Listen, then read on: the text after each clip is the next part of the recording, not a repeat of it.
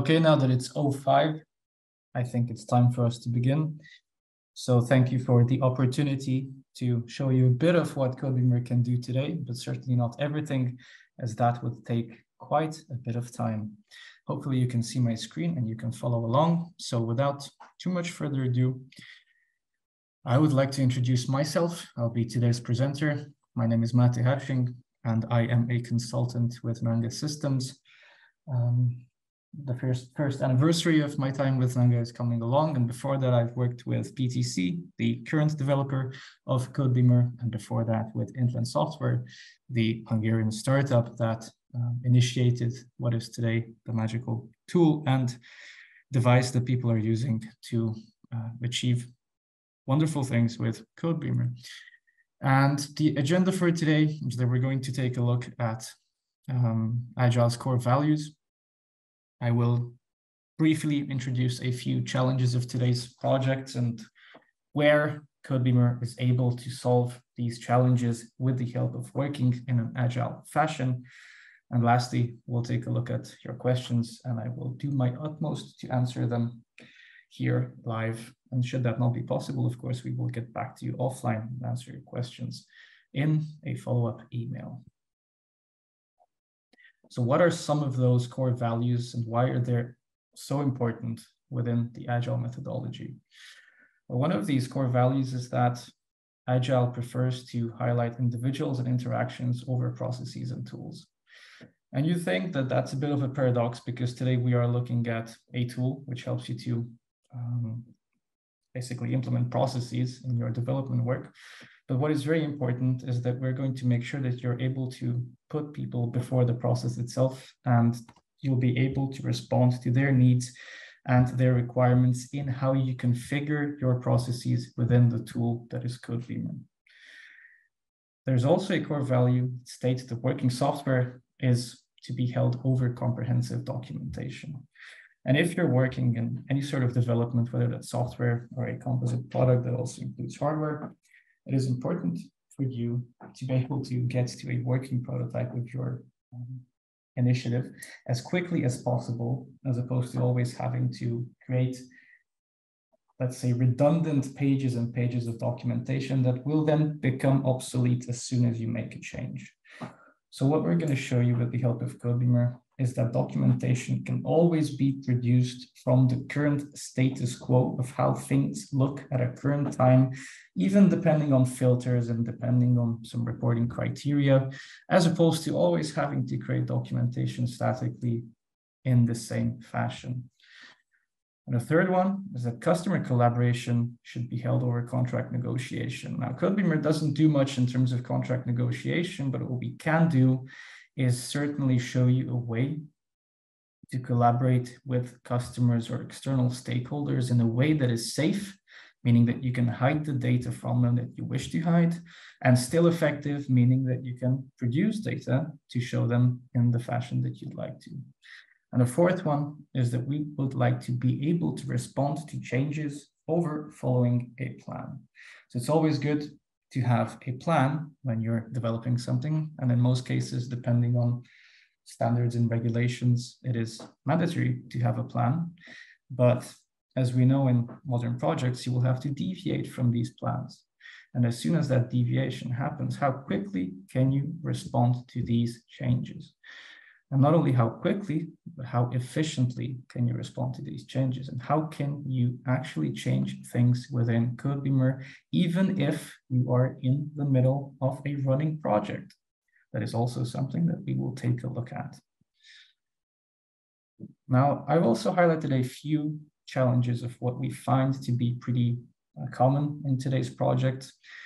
And these are then going to be answered by some um, solutions within Codebeamer, and that's how quickly we're going to arrive at the live demonstration section of today's presentation. So what happens if a project scope is not clearly defined? In many cases, you'd think that that means you cannot start working on your project. Well, of course, that is incorrect. You can start working on your projects in Codebeamer, and at any point in the future, especially because Codebeamer allows you to make changes and configuration changes effectively with the help of the graphical user interface, it is not necessary for you to have the scope of the project defined at the very beginning.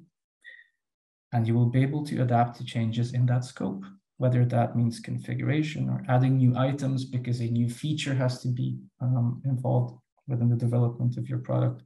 That will all be covered. Now, what if the project has changing deliverables? This is very um, closely knitted together with point one because we'll be able to show you how you can quickly plan your backlogs, how you can plan your sprints, how you can prioritize items continuously and change those priorities as things change around your project. And what you can then do, for example, with the help of a built-in impact analysis, what we call the suspected badge. Now, iterations in Agile, since sprints are usually quite short and they have to be short, Iterations will be constant and you will have to be able to provide feedback for them continuously and swiftly. So collaboration is at the heart of what you do in Codebeamer, and I will show you how you can do that effectively to reduce redundant processes and times. And thinking about what we discussed with the four core values, it is very important to be able to work together with external stakeholders and there are some very simple yet very powerful tricks that we can implement. For example, to add a new project role, which is called stakeholder, and then make sure that the access rights that your stakeholders have are built in such a way that they don't have access to data that they shouldn't, they have access to data that they should. And lastly, internal collaboration is a must.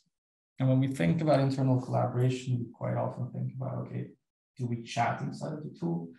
Sort of, but we'll also show you a few ways to make sure that it's not only chat, it's not only direct communication that enhances this internal collaboration, but also reports, analytics, and so on. Now we are going to take a look at a live demonstration of Codebeamer, and I'll show you how, at least in my current perspective, we're able to respond to these challenges. But once again, I would like to initiate that you ask questions and um, get involved in the discussion. For that, there is a Q&A section here within uh, Zoom, and you can use that to ask any questions that you may have. So what we're going to be looking at now is Codebeamer. And depending on what industry and how what industry you come from and how familiar you are with Codebeamer, I'm going to just highlight a few key things so that you best understand what it is that I'm showing you. Codebeamer is 100% browser-based, and it is available either in the cloud or on-premise. Luckily for us, the interface through which you see the data that is, is inside of Codebeamer will not change whether you are on-premise or in the cloud. So we are going to be harmonized there. And what we're looking at right now is an Agile webinar project. And this Agile webinar project is built on a pre-configuration, or with other words, a template which is offered out of the box with Codebeamer. And this template was built in such a way that it allows you to start an agile project a bit quicker out of the gate as if you had to build it all yourself. Now, each project, each specific project that you create, whether it's based on template A or template B or template C, has specific sections or modules, one of which is the project wiki that we are currently located in. You'll see that at the top of the screen, and if I just use the annotate option, if I quickly find it, on the top of the screen, you have orange menu bars, which are going to be all the way up to here. So my start project reports review hub. These orange menu bars allow you to navigate to system-wide sections of the tool by projects would show you all the different projects. But then once you enter a specific project, you have these green menu bars available as well, which you find all the way from wiki to trash. And these green sections or green modules, they allow you to access project specific modules. So in this case, one of these is the wiki the wiki is always going to be something pretty familiar to everybody. If you just think about the word wiki, where do you most often encounter this word? Usually Wikipedia, especially if you've spent as much time on Wikipedia for your studies as I have, it will be very familiar. And within that wiki, you can place information that is either static or dynamic. Now, what does that mean? Static in this case would be just informative pages which share information with other collaborators in your project. Now that means that this webinar agenda node, if expanded, can show us three different pages like Agile core, Agile core values, where we can embed images and the source of those different images from the internet. This was the first slide that I shared with you in the PPT challenges of today's projects. And here we have some static information. And these wiki pages can also be updated by all of those different project members for whom you grant access to update it. And you can store information here that is relevant to your project from different aspects, one of which may be an SOP. For example, how should you be doing things inside of the project? This is the static section. So text. What about dynamic? So dynamic in this case, dynamic information relates to creating a widget. Widget is the Codebeamer specific language for a visual representation of a report. So you could place widgets within these wiki pages as well that can show you the current status of things within Codebeamer and within this specific project. So if I click on trackers, we are redirected to where our trackers can be accessed. And I will talk about trackers in just a second, but I clicked here so that I can show you the different widgets that are currently embedded into this trackers page. And these widgets are showing us that, for example, how many epics do we have in total? You could add up these numbers and that would be the total. And what status are these different epics in? And how many of those are in these statuses? So you have two done epics, six draft epics, five to do epics, and you can imagine the rest. Now it's a pretty simple um, six widget platform that I've created here. You can add as many widgets as you want. And of course, it's not only bar charts that you have available, and I will definitely create a small presentation of the different widget types that we have for very specific Agile purposes as we get to that section of the presentation. But now that we are here within the trackers menu, just to perhaps refresh anyone's memory about trackers that may not be as familiar with trackers as I am, based on the extensive work that I do with Codebeamer, trackers are what basically create the backbone of each Codebeamer project because the trackers are the logical containers into which we organize our data. On the back end of Codebeamer, you have what is most likely a MySQL or PostgreSQL database. And in that database, you have records, much like in any relational database. However, the way that we would like to be able to display the different records that we have in the database to begin with is to be able to organize them into trackers and those trackers belong to a specific project. So now we are in the Agile Webinar project and these little things here on the left are our trackers. And you'll see that the numbers beside the titles of the trackers show us how many items we have within them and how many of those are open.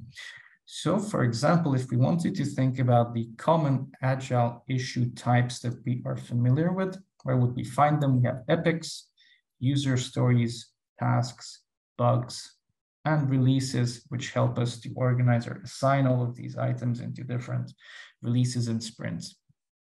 Now, it's great that we have these trackers, and it's also very important to understand that what you see is the current set of trackers that we have, but we can remove trackers we don't need, or alternatively add new trackers to the current project that we are located in if we have the necessary administrative rights. So if you said, okay, if we think about the first challenge that we faced, what if the scope of our project is quite undefined? What if we had to add a new ticket type to the project as we go along the development of our product because we realize that we need something that we currently don't have, such as we have to combine the creation of epics user stories and tasks with the addition of requirements in the tool. If a project admin is to come here to this platform and upon discussion it was made a decision that they will create a new requirement type tracker. They can do that with the help of a few clicks.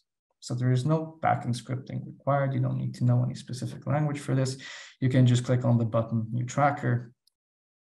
And within that new tracker addition screen you'll be able to choose what type you would like to base your new tracker on. Now there's a predefined list of 22 types.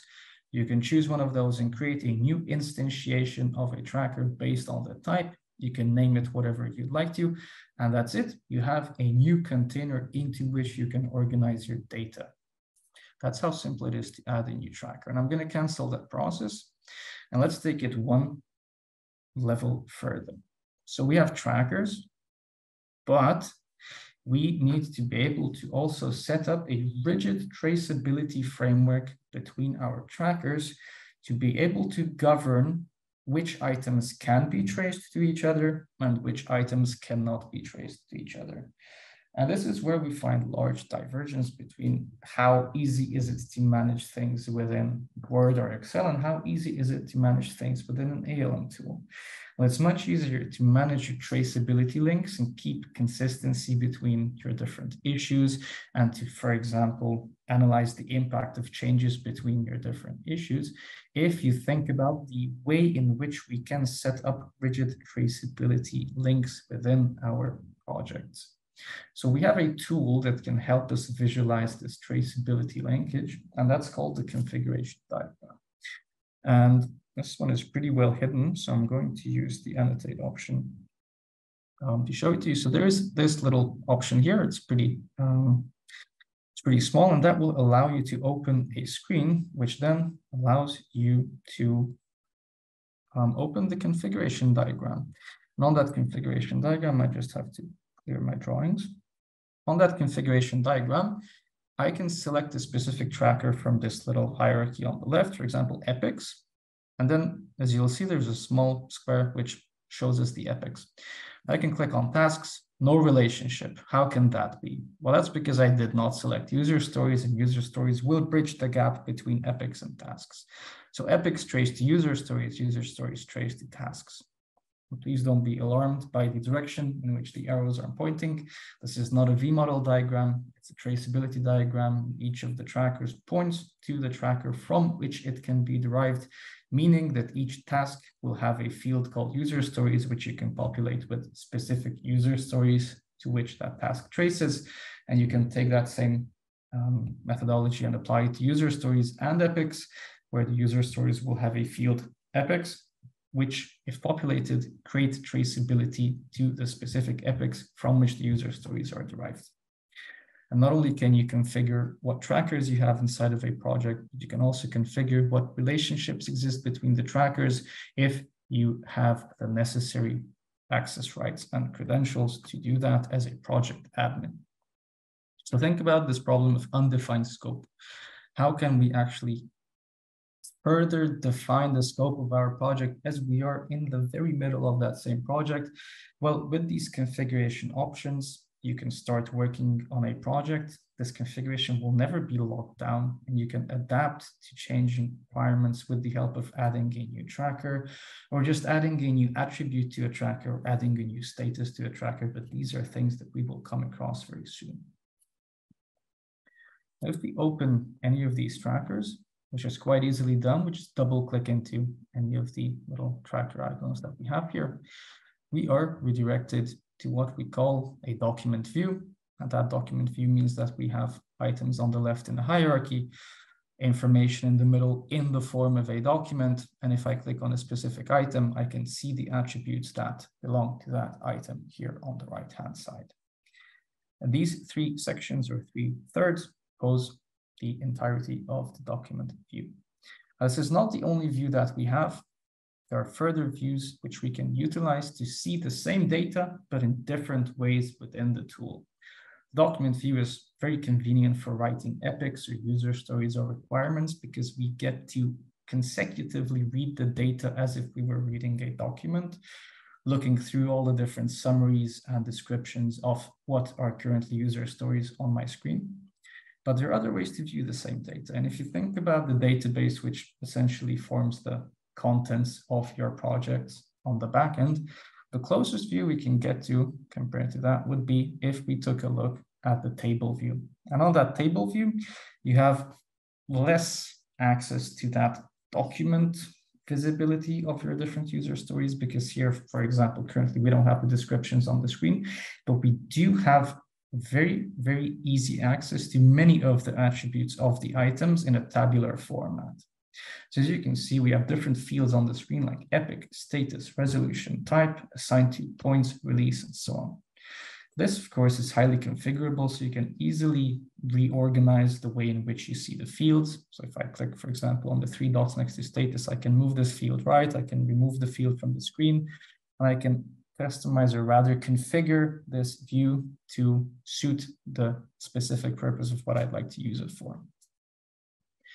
And please note that there is a field here called assigned to, and that assigned to will become very important later because by being able to assign items to individuals, the same applies to another field that is called team, which we will take a look at. We're able to then easily create internal collaboration without having to communicate. As the leader, I'd be able to um, assign members of my team onto different items to without having to um, talk to them directly assign tasks to them, or in this case, user stories, because we can think about the task being the development of the user story, but figuratively speaking, we're assigning user stories to these individuals in our teams by just saying, okay, well, here's a user story. Here's me. I'm going to be the team member. And my boss says, okay, Matt is going to work on this specific user story. There was no specific need to contact me about that because if I come back to the same tracker and I say, okay, well, here are many items, doesn't really matter to me to see all of them. What matters to me is to see the ones which are assigned to me. So what if we just add a new filter and there's a filter button here on the left-hand side and we say, well, let's look for the field assigned to. And there's a very easy little filter to use called me, which means that if any user presses on this me button, of course, they'll see items that are then going to be filtered for their own username. And if I click on go, well, immediately the contents of the screen are shortened to only contain those items which are assigned to me. So it's a very easy way to think about internal collaboration from the perspective that a team leader assigns different user stories to someone and then that someone creates a filter for themselves to see the items assigned to them. And bam, you can start working on this item immediately. And there was no actual need for a discussion to be held. Of course, you might want to have a discussion related to other things because of the same process. But from Codebeamer perspective, this is how simple it is for two different team members to be able to do their tasks. One assigns, the other works. The only thing that you needed to apply here was, well, an attribute that was assigned to the item, and then the filter, which allowed me to highlight only those items that are assigned to me. So let's see everything once more. And to just go to another view that would be very essential for working in an agile fashion would be the Kanban board. And here you have the Kanban board where you can see all the different items. And this is hand in hand with the workflow that is implemented inside each of our trackers. So think about the workflow and what you think the workflow is going to look like in Codebeamer. That's pretty much what it's going to look like in Codebeamer. We have different statuses, which can help us to track items as they go through from the time of their conception to the time of their acceptance or rejection through different statuses that help us understand how mature these items are and how well developed they are, how they're tested and so on. And this workflow is 100% configurable with the help of the graphical user interface, much like anything else.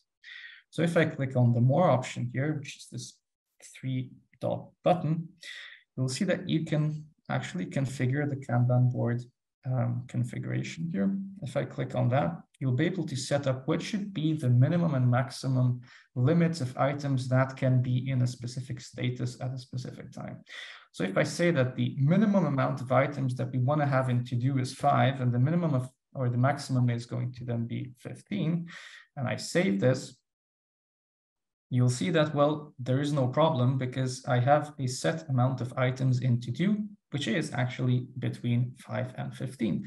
What we would like to see is how we can trigger there to be a notification on the screen that's going to warn us that we have reached a limit or have not reached a limit, depending on whether that's the lower or the higher limit. So the working limits can be easily configured.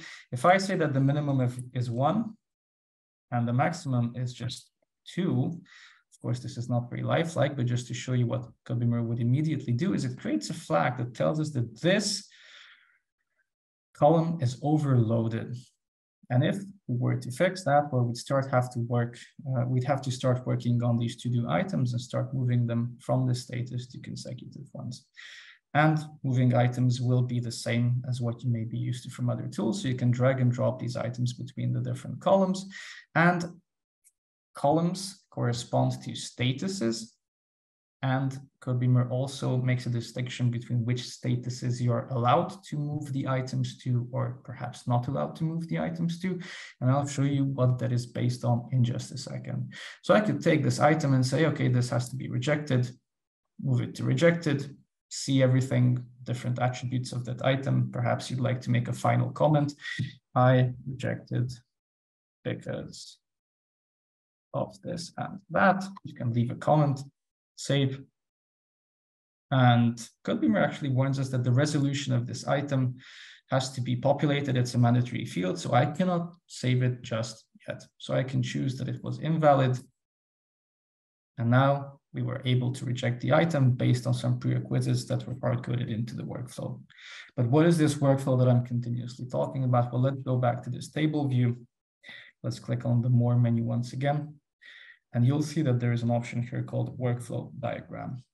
And this workflow diagram shows us what is the workflow, what are the statuses and state transitions that have been hard-coded into the system to show us the lifecycle of the items in the user stories tracker. So this is, I would say, a fairly complex one because we're able to um, submit items into the system and they immediately go to draft. Then they go to to do. And well, you can imagine the rest, there are quite a few statuses and state transitions. Now, some teams will say this is not complex enough for us. We need to have a more elaborate workflow. It's very easy to do that. So you can implement your workflow with the help of the built-in configuration options. And vice versa, if you say this is a bit too complicated, we're used to how we work in Jira. There are only four statuses. How can we do that? You can remove statuses from this diagram that you don't need and you can rename those statuses that you keep, let's say four of these, and then you can have the exact same workflow that you were used to from another tool or just the new one that you'd like to implement. It's all configurable and there is no necessity to do this before your project starts. You can always adapt to newly found improvement ideas or newly stated requirements by anybody from within or outside the team with the help of just reconfiguring things and making sure that you work in the most optimized way possible. Now, if we go back to the same user stories tracker, and I just take an item at random, for example, this available radio stations on the left, you will find that there is this little field here called release on the right hand side, which I've highlighted. And there is a field, an attribute, which allows us to assign our different issues to a specific release in which they have to be done. And in this case, there is traceability created between our available radio stations user story and a sprint, which is called sprint 1.2. This sprint 1.2 is an actual configuration item in CodeBeamer. It's not just a field value, it's not just a static option from a drop-down list. It's an actual entity in CodeBeamer, which has its own unique ID, its own attributes, and everything else that you might be able to think the available radio stations item has, because that's also a CodeBeamer work item. So if we go back to trackers, you'll find that there is a tracker called releases. It's a tracker essentially just like any other, but it has very powerful functionality which ties in very closely to what we are talking about today in the sense of working in an agile fashion, following a certain methodology as we conduct project management within a CodeBeamer project. So if we click on that release tracker option, the releases tracker opens, and we are immediately in what we call the dashboard view of that release. Now this is basically a summary of what's up with this release that we see on the screen. That release is called Multimedia and Navigation Release 1. It's due in 21 calendar days, for which you have a little label here. There are six sprints that are subordinate to that major release. one of those is closed, five are open. You get a percentage view as well. There's a total of 319 story points committed to that release, of which 81 are done, again, percentage. And then there are a total of 52 items of which are of which 22 are done, again, percentage. Now, if we click on this plus here, we're able to further um, have an overview of what are the different sprints that have been um, created as subordinate to this major release. And you'll see that these all have their own little dashboard views as well. Some of them have data within them. Some of them have nothing because there are no items assigned to those sprints. What you'll also notice, there is a further plus button here. So we can drop down this sprint 1.2 option to see every single work item that has been assigned to that sprint. Now, please note that this is a dashboard view. So our intention here is not changing the data. It's getting a very good summary of what is inside of the sprints and how that can be overseen with the help of some key metrics or KPIs. If we'd like to influence what we have within the different sprints, or we'd like to change, reassign, prioritize, etc., you have another view for that. And that is called the planner or the label for it here on the right hand side is plan releases. If you click on that planner view, we see something slightly different, but the main contents of this screen are still the same. On the left-hand side, you have a hierarchical view of the different releases, meaning that multimedia navigation release one is still the superordinate one. And underneath that, you have different sprints. And within the central section of the planner, you have the items themselves. And these items all have a little flap on the left-hand side with which you can start drag and dropping them somewhere else. So if we looked at, let's say, sprint 1.2, for example, if I click on that sprint, we'll be able to see that, well, these are the items which are assigned to that sprint. If we'd like to drag and drop them back to the release backlog because we understand or we reprioritize that they're not going to be done in sprint 1.2 or they cannot be done in sprint 1.2 well we can just drag an item and uh, drop it back into the backlog of the release itself and then within the sprint you'll see that well some of these fields are editable so i could assign the remaining items which have not been assigned to a cross-functional team just yet for which we have a tracker called teams where we can create teams that overlap different users in Codebeamer, different team members who may be from different roles, and thus we create cross-functional teams in the tool. And you can then create traceability or an assignment between specific, well, in this case, tasks, if you look at the first three items on the screen, and those teams that we have established are going to be working on different um, issue types. So in this team assignment, I can start looking at what are my different options. As you'll see, I'm using famous physicists here to celebrate a new movie in the cinema that you may or may not have seen. And if I choose the Bohr team, then, well, we have now assigned this item to that team. And if I then scroll down here on the left-hand side, you'll be able to see that there is also a filter, which is basically what these things on the left are. They are filters to see work items that have certain assignments either to a sprint or a team. If I click on the Bohr team, for example, you'll be able to see what are the different items which the Bohr team is working on within the context of context of the sprint that I have selected. So it's a great way to be able to oversee the different um, worker configuration items that have been assigned to not only sprints, but further to teams. And then within these um, one or multiple filters that we create with the help of the planner. We can then see that if we click on the three dots next to the items here, there are quite a few options to prioritize items, to, to send them to a consecutive or later sprint in case we understand that we're not going to be able to do them. Or we can even send them to either the release backlog or the um, ordered product backlog. There are quite a few options here for us to work very nicely with. Now, as the project itself changes in scope, you might have to implement new features and you might have to implement features that will then be broken down into epics, which have to be broken down into user stories, which have to be broken down into tasks. And if you've already created a very, very strong prototype of the entire product that you're working on in the context of a specific sprint or a release, you are going to be able to use a tool that we call the traceability browser. Again, I'm going to use the annotate option to, um, to, to, to show you where this button is. So there's this, no.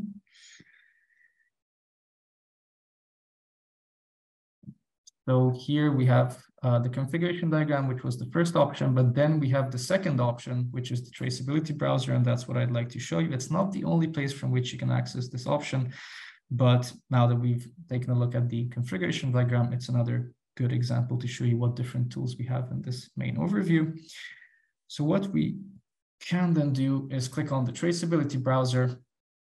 And what happens here is that we can put together what you might be familiar with under the phrase trace matrix from just an agnostic perspective of industry. If we just say, okay, I'm interested in information from the Agile webinar project, and I'd like to see all the different epics in a tabular format. So far, not a very complex use case. I click on go and I get to see all the epics in the first column and everything else that they may trace to in the second column. Now we'd like to somewhat filter that only for user stories. If I click on go, we have a much nicer view because now we're looking at epics and then user stories to the right of them. And this little R it looks pretty innocent, but it's very important things because it shows us that there is traceability set up between all those user stories on the right and the epic on the left.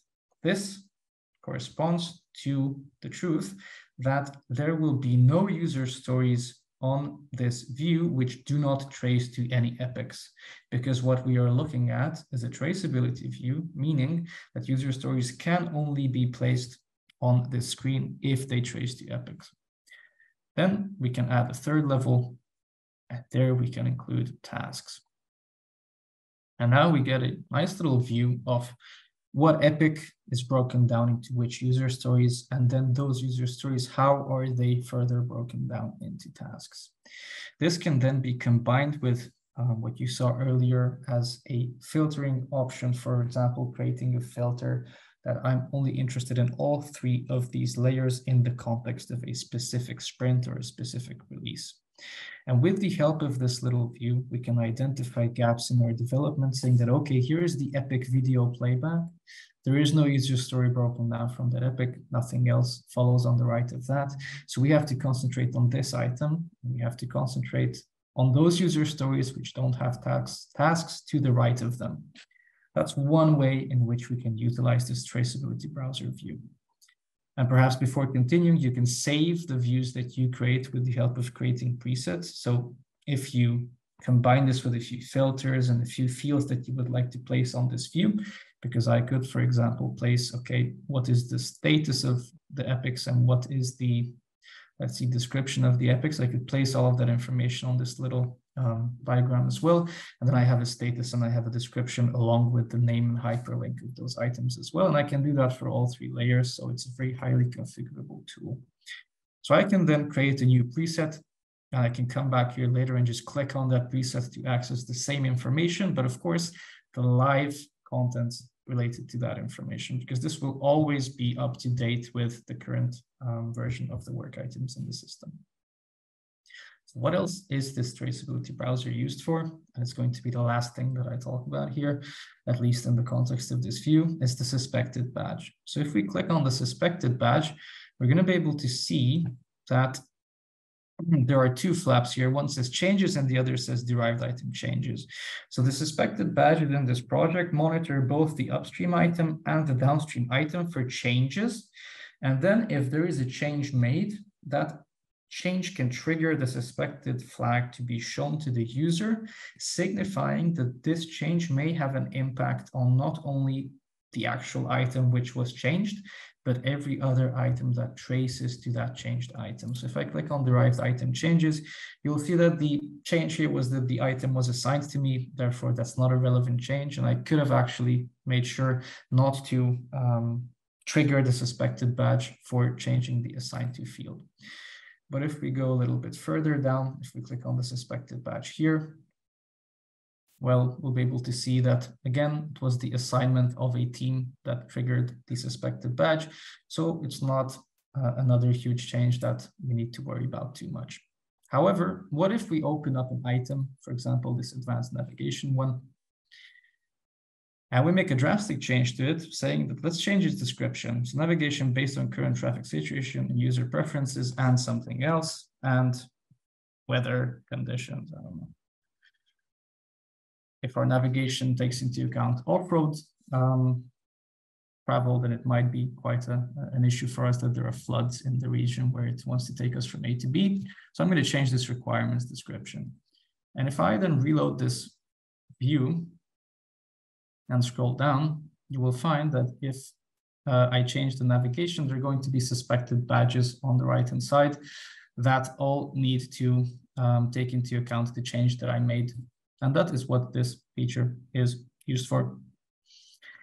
Um, this is the section that I was looking for. My apologies. And so here we have the updated description and weather conditions. And every single user story to the right of that item is immediately triggered with the suspected badge because we might be required to readjust the user story based on the changes that were made to the epic. And if I click on suspected here, you'll see that there is now a change in the description between the two um, two versions of the same item's description, and that might require us to update our user stories. That is a way in which we can continuously monitor our changing deliverables, and it may trigger a small but very noticeable suspected badge for our users that shows us, okay, now it is time for us to review um, our user stories because something upstream of those has changed. Now, something else that I have um, definitely wanted to, to highlight during today's presentation was that if we open up any of these items within Codebeamer, if we navigate to this section, comments and attachments, and click into the creation of a new comment, if I add an at sign and tag a user, which in this case is going to be myself, I can say, please take a look at this. And if it were another user that I tagged with the help of this option, I could immediately trigger a notification to be sent to that user in the form of an email, which includes a hyperlink to the specific item where they were tagged. And this drastically decreases the amount of time that users require to be able to see items where they are being um, tagged, if we want to use the same word, within the tool. Because there are ways to create views for yourself where you might filter for where you've been mentioned, but it's a much um, easier way for us to create notification system which works with this tag option that you might be familiar with from other tools or just I don't know social media and it's a very convenient way for us not to always have to log into Codebeamer and find items that may have been changed and these changes may be relevant to us but it's easy to highlight the same information to users that have to be involved in decisions or just in the review of a specific item. And for this, we have this comment attachment stream, which is very easy and convenient to use. The same way, even though it does not um, work with the at sign, we're able to assign these items to specific users. So we could say that I'm going to assign the item to myself with the assign to uh, field, something that we've seen a couple of minutes ago. It would be very simple to say, okay, um, I just assign the item to one of the people on my team. And that will also trigger a similar notification to um, for them to be seen in their inbox. And then once again, they can click on that hyperlink inside the inbox and navigate to the item and start working on it whenever it is convenient for them to do so. And now that we've seen the user, um, let's say the, the idea that we have users in Codebeamer, of course, we have users, that's the way that I'm logged in. I have a username Mate hashing. These roles, I mean, these users themselves can be organized into roles inside of the project, excuse me. So for that, we have under the admin section, the section called members. And if we navigate there, you'll see that currently in this project, this is just a webinar example, I am the only user. On the left-hand side, we have roles. And these roles come with a predefined set of permissions, both read and write, which of course can then further be configured by the project admin. And they can then further be configured tracker by tracker to ensure that in each tracker are roles and then the users placed into those roles have the access rights that we would like them to have. And you'll notice that the last option here, if I just hover it a bit, is the stakeholder option. So a stakeholder could have very specific access rights to our Codebeamer project, meaning that okay, the only tracker that they should be able to see for whatever reason is going to be the epics tracker where they can make decisions on the epics that we're going to be working on because it is the way in which we have prescribed to work together with them. So we can enable for them to have, let's say, read and comment access within our epics tracker, but no read access anywhere else within Codebeamer's Agile Webinar project. And that is a very easy way for us to make sure that we don't have to spend unnecessary time exporting the information from that Epics tracker, handing it over to that stakeholder, only for the stakeholder to make changes in three weeks by the time the same epics have changed inside of our tracker. And then we have this whole question of, okay, but which version do we keep? How do we update and so on? So rather we can say, okay, we invite these stakeholders to collaborate with us in the project, but we very carefully govern what access rights they have. However, to those things that we want them to have access, they have access and they always have access to the most up-to-date version of those items so that they can leave comments and collaborate with us. Now this combined with the comment function can help you to gain a small bit of insight into how we manage both internal and external collaboration within Codebeamer with who might be core members of the team, but at the same time might just be external stakeholders who only need to be able to see a sliver of the entire project that we are working on inside of Codebeamer. And to close, I would lastly like to circle back to the entire topic of what analytics and maybe in more Codebeamer specific lingo, what widgets we have inside of Codebeamer and how some of those are very agile specific and that are very easy to implement into, for example, the main tracker page of our project so that we can have a new pinned widget at the top of the screen that helps us to perhaps alert our users to something that is very important about the project. So if you scroll down to the bottom of the screen, there's always going to be a new add widget option here on the bottom. It's this orange section. If I click on add widget, we are faced with a complete list of all different widget types in the system.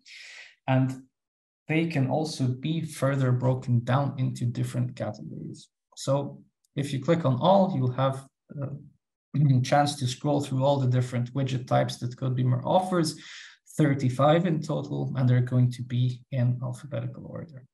Now, of course, we don't have the time to go through all of these, but what we can do is click on Agile here.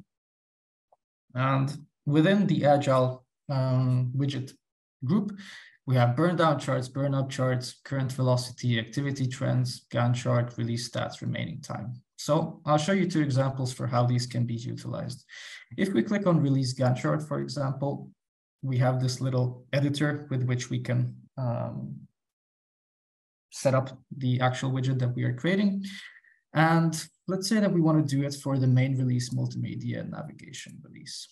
And so the Gantt chart itself will be previewed with the help of this preview option, and you'll be able to see a um, weekly division between the different weeks. And then you'll be able to see not only the main um, multimedia navigation release from what is the beginning of that um, release, which was on the 29th of May or someday there on that week, all the way to its end. And you'll see where we are today. And then you'll get a pretty good picture of how we're not doing too well with the um, creation and the finish of all those different sprints that we have assigned to the main release, which is unfortunate.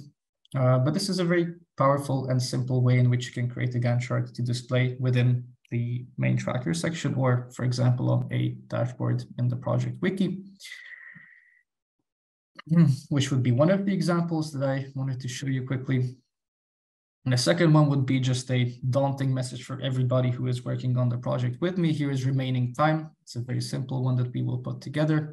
Again, we'll take this current project as the basis of this widget, and then we'll choose the same multimedia navigation release. If I go to preview, it will tell us that there are 21 calendar days left, and we can save this.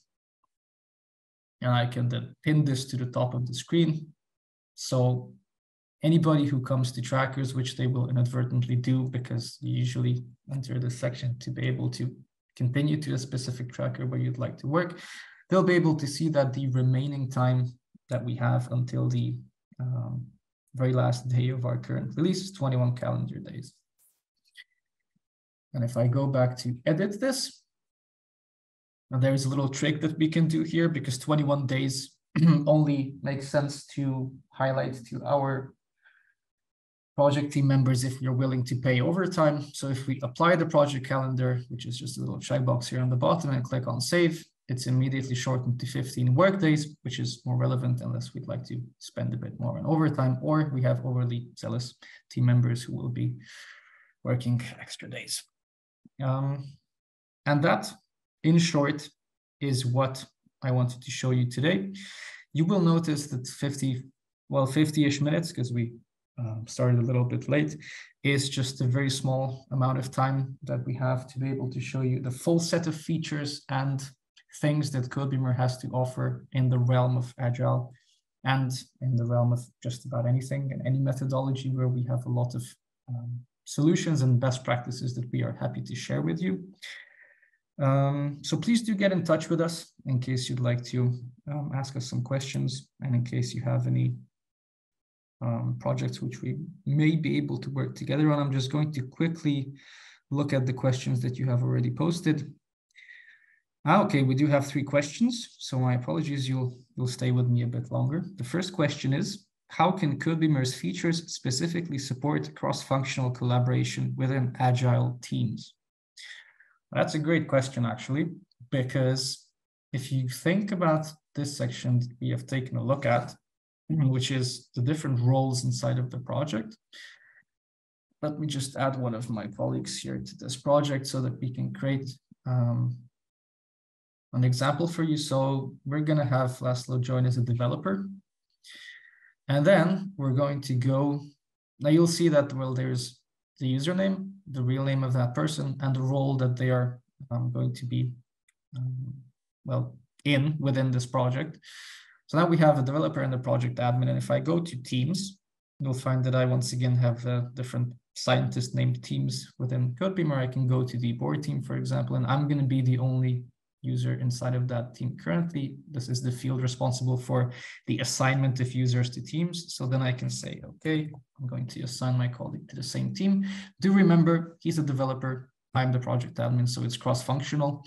And with the help of some further rules, if we would like to implement them, we could make sure that, for example, we have at least one team member from role A, at least one team member from role B, and at least one team member from role C to ensure that we have every um, sort of knowledge set or skill set that we would like to have within our teams. And that could help us to not accept teams or not have Codebeamer accept teams that should not be accepted based on the rules that we have implemented into the field definition of this team members field. So this teams tracker, the creation of teams, and then the idea of roles combined together form the answer to this very insightful question of how do we create cross-functional collaboration teams? Okay. Another question was, are there any specific customization options within Codebeamer that allow teams to tailor agile workflows according to their unique requirements? In fact, yes. So if we think about the Teams tracker, that would be a rather poor example. So I'm going to move over to tasks, for example. So within this tasks tracker, you see that we have the status field rejected, to do, to do, to do, in progress, implemented, and so on. So there are different statuses, but these statuses can be shown on the workflow diagram. So far, so good. We've already seen this. But if I click on configure here on the top left, as a project admin, I am immediately redirected to this configuration screen where, for example, there's this add status option. And if we click on add option, excuse me, then very quickly I'd be able to add a new status and then I can start connecting the new status with the existing workflow with the help of adding a new state transition. So we have all the different configuration options and um, tools that we need to be able to reform the workflow. Not only can we add new statuses, but we can rename statuses, we can reorganize statuses, and we can delete statuses. Maybe to give you an example, instead of to do, let's rename this to new, which would be another typical name for that first status. Codebeamer asks me, am I sure? I am sure. And here now you see that to do immediately changes to new. It's a very small change, but it's the same sort of um, idea that you can apply to making larger changes within the workflow. And it's very easy to do if you have the necessary permissions. Third one is what integrations does Codebeamer offer to enhance the agile workflow, such as version control systems or Jira? So Codebeamer comes with a very powerful uh, REST API set of endpoints, which can be utilized to create uh, custom integrations, but it's not necessary to create custom integrations in these two cases. Because, for example, in terms of repositories or version control systems, there is already um, an existing webhook technology with which we can create uh, relationships or references between our existing Codebeamer work items and code snippets from, for example, what I have here is GitLab. So you set up a web webhook between a specific GitLab project and your Codebeamer project. And then as you create commits, you can add Codebeamer item IDs to the commit message, thereby creating traceability between specific Codebeamer items and the change that you made in your code. What does that mean? If I click here on this overview and I click on, for example, let's see this, this commit here, I click on change one, we can see the message from GitLab that the only change that I made is that I, I added a new comment. This is this is a new comment, so it wasn't a drastic change inside of the code. Fair enough. But I, at the same time, created traceability with the help of those unique IDs between that change in the code and four tasks. So if I click on the task itself, I'm redirected to that task in Codebeamer. And if I go to this section SCM commits, I can see the specific change which was then committed to this work item in Codebeamer. So if you have a cloud-hosted Codebeamer instance, then you can create um, webhooks with GitLab, um, GitHub, and Bitbucket. And if you have an on-premise solution installed, then you can create local um, Git or Subversion or Perforce, Perforce repositories and then create uh, version control linkage between your work items and those um, source code files uh, on-premise. That would be uh, the way that we trace code changes to Codebeamer work items. And then the other section of this question was, what do we have with Jira?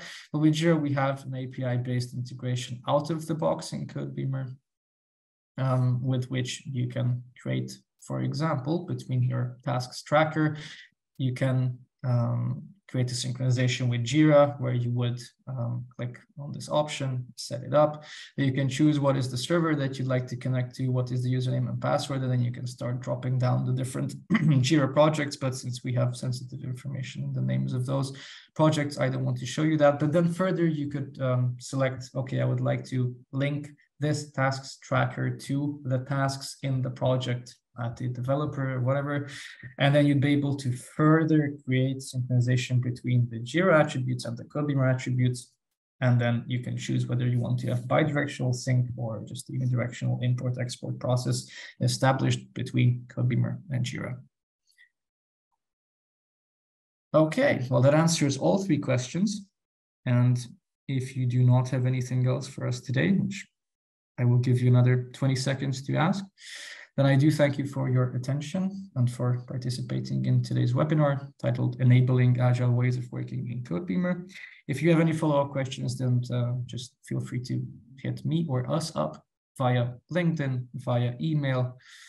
And I hope to see you again for our next webinar. And I thank you very much for your attention and participation for the last time. Cheers and goodbye. You.